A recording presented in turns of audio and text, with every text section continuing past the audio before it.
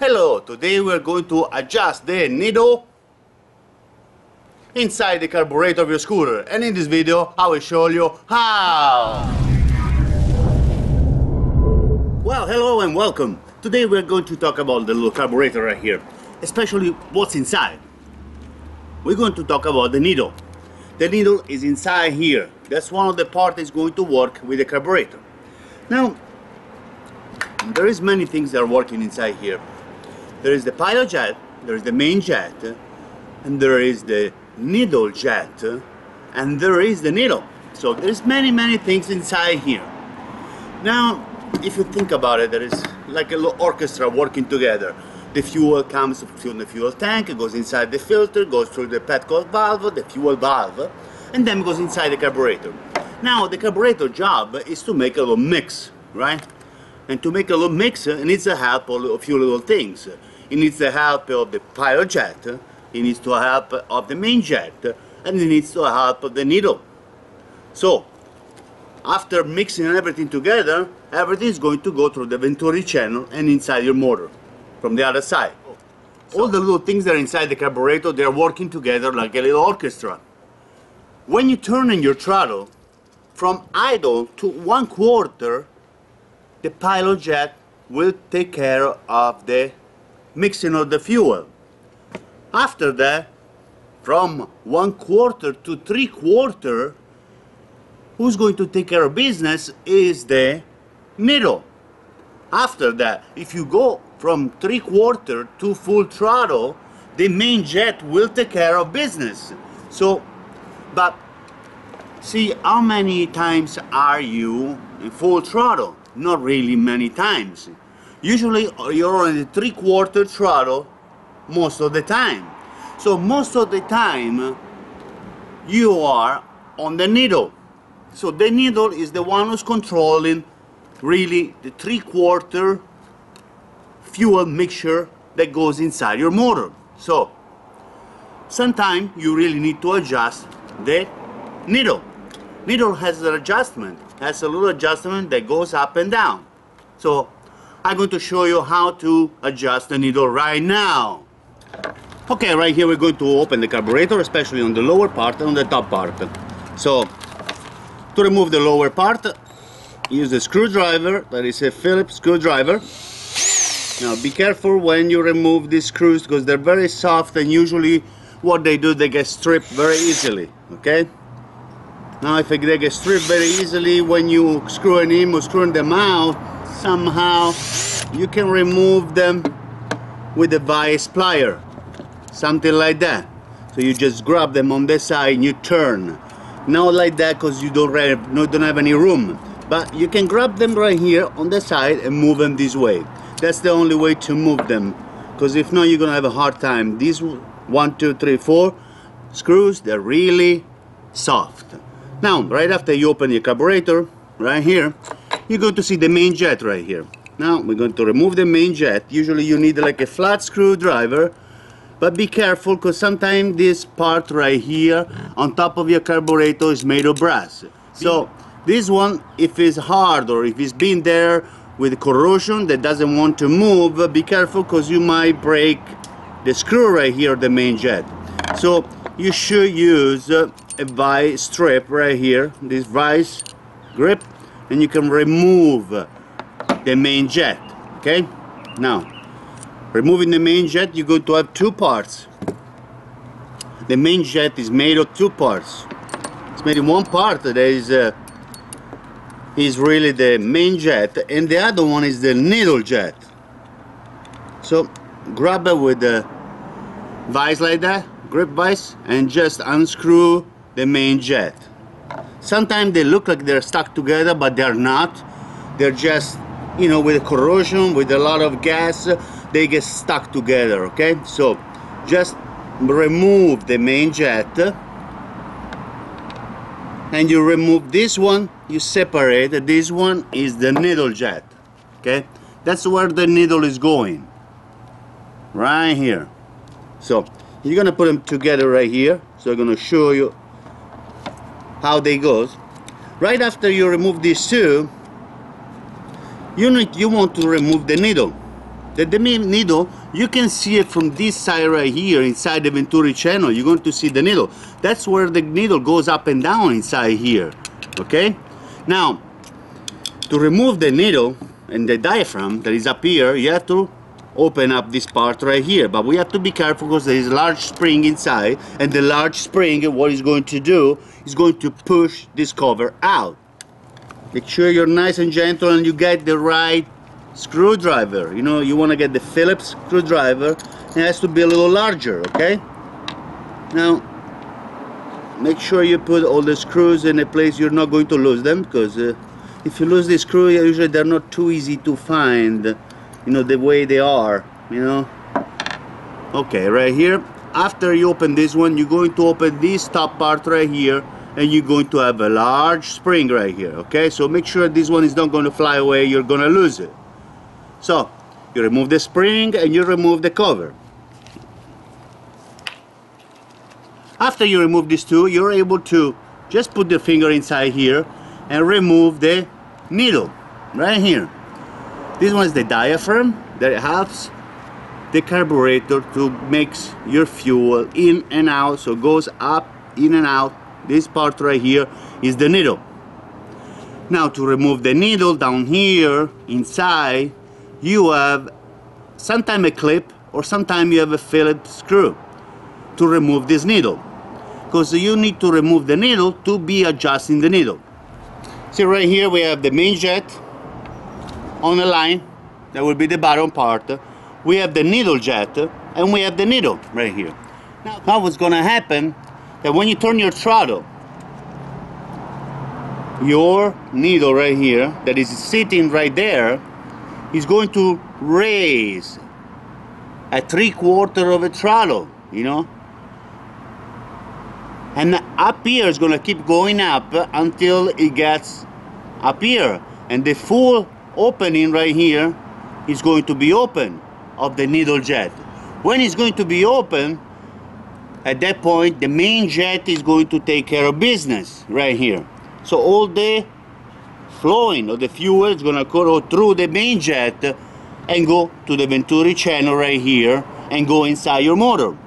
But this one is going to help to go up and down if you see there is a little holes right here on the side of the needle jet right here that when the needle goes up release the fuel and goes inside the Venturi channel now to make sure that you have the right mixture at three quarter of a throttle you need to adjust the needle to remove the needle we're going to remove it right here from the center. There is a little screw. There is a Phillips screwdriver right there. And uh, sometimes there is a clip. And there is a little spring too. Now this little spring is going to be inside here. Okay right after removing the little clip inside or little screw that you have inside you're able to remove the needle that is inside from the diaphragm.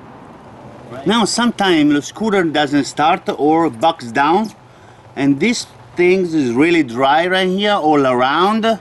So what happened that this one stuck to the wall of your carburetor, this little piston. If it's stuck to the wall of the carburetor, the needle doesn't raise. So if you keep your scooter sitting for a long time, maybe this one could be one reason why your scooter is not starting because it's not opening up the diaphragm up and releasing the needle to go up okay? So this one is a little trick that I learned with experience. Now right after you remove the needle from inside there right here you're going to see the needle as a little clip right here. This one is a clip from the middle right there. And usually this this little clip is on the center part. You know it's like on the center adjustment. Usually they adjust on the center right here right here. Now. Right here. That's the needle. If you like to adjust the needle to have a leaner or richer fuel at three quarter of the throttle you need to move this clip right here. To move this clip up here higher on the next level right here you're going to make your fuel leaner, okay? Because you're gonna drop this needle a little lower. Now, if you put this one, little clip a little lower over here, your fuel is going to be a little richer. How do you know when your fuel is richer or not? It depends on what you hear sometime from your exhaust pipe. Sometimes you're gonna hear a pop, and then means when you hear a pop, you mean that a spotter, like a rich, you're gonna be too rich your fuel. If you hear like a bog down, when you throw in the gas, you turn in the gas, the throttle, at that point uh, your fuel is too lean. So you have to adjust right here at three quarter, you know, right here, three quarter of the fuel, you're gonna feel the difference. And what is the difference at that moment? So, raising this little clip higher, you're going to make your scooter running a little leaner at three quarter of the throttle. Put this little clip a little lower, you're going to enrich the fuel and three quarter of a throttle. So this one, you're going to reach perfection by test and tuning your scooter with this little trick. Now your scooter will run a lot better at three quarter of a throttle, but you have to understand where you are, how is your location, how high you're in altitude, many things you need to understand. So unfortunately many times you have to try, test and tune your scooter until you will reach, reach the perfection of your scooter at your altitude or your location. So to remove this one you can put it down and you can press down on the top of the needle but you have to be careful because this one's gonna fly away. So the little clip. So just grab it with the little nose plier. So you you can grab it and pull it away right here you have the little clip. Now remember where the little clip was in the first place. If it was in the middle usually they are set in the middle. If they're set in the middle you put it a little lower or higher. Now if you go higher right here on the top of the needle if you put this one a little higher your fuel is going to be leaner. If you put this clip lower your fuel is going to be richer. At three quarter of the throttle okay? Now so what you do you just place this one right here and you press it down okay? You can put it on the top but you have to test your scooter. You have to test and tune. This one is gonna be easy because you don't need really to remove your carburetor what you really need uh, is just to remove the top of your carburetor. So you open up the bucket your scooter you look inside the carburetor and you, you look inside you see the carburetor and you remove the top of the carburetor and you can remove the needle. It's really easy to, to do to make your scooter run at the perfection state of your location. Now right here to remove it grab this uh, needle plier so the little clip is not going to fly anywhere and you just push this one in one way and the needle on the other way. So and you can just place it anywhere you like to try this one. Now after you're done testing you know right here after you're done you think that this is the location that you really want it you can place this little needle inside its location there where you just remove it. There is a hole at the end right here that's where you have to place it. Take your time not rushing yourself. And you're going to place it inside the hole right there at the end. You're just gonna drop the little needle right there. That's how it's gonna be. It's always a little bit of it's got a little bit of the play all the time. Even if when you put the little screw right here and you put the little uh, spring that it has inside there or sometimes it has a little clip but it always has a little bit of uh, movement right here. To place the clip inside or if you have the little something a little piece of plastic that locks in the little needle right there you can use a needle plier right there and a nose plier very long one. And this one will help you to place the little connection right here. Okay, right here, you put the little screw, you turn, or sometimes there is a little clip to close it. Now, uh, right after you place the needle, you adjust the needle, you can put the needle back on your carburetor. Make sure when you put this one in the carburetor, you look at this part right here. There is a little bit of a curve right here. You know, a little indentment right here. That's where the diaphragm has to go. You know, make sure that goes in and out smoothly.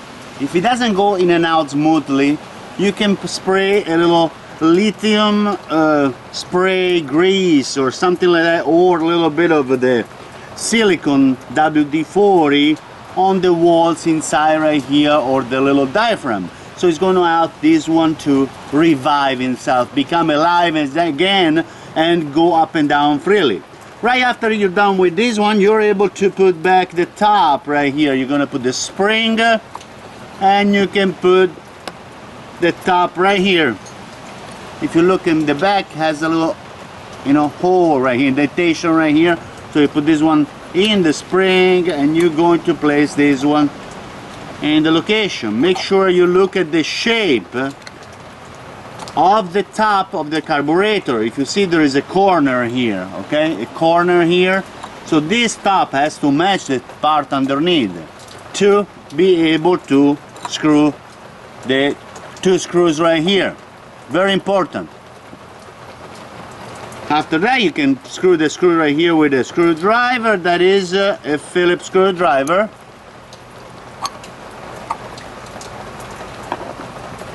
Very easy to do but in the same time when you screw these ones make sure that make sure that the top part is not going to fly away. You have to hold the top part because the top part has a spring inside and the spring is trying to push this part right here away.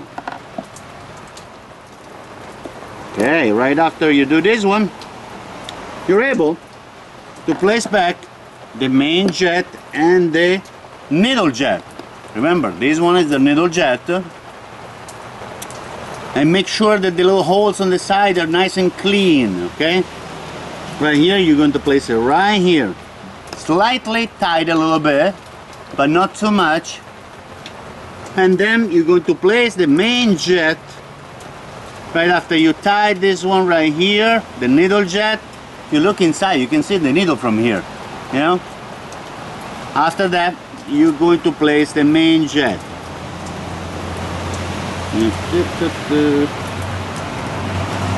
Right on the top you place the main jet and you're ready to close the carburetor almost but you know tie this main jet right here and you're gonna be okay. Here right here and you don't need to over tie it okay?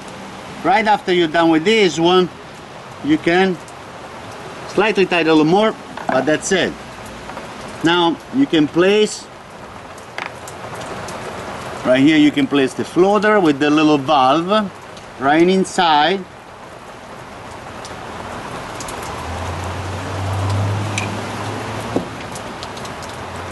and you have a little bar right here. Make sure you don't lose the little bar because this one they don't lock themselves. They're really they're really free. So yeah it's really easy to lose these little bars right here.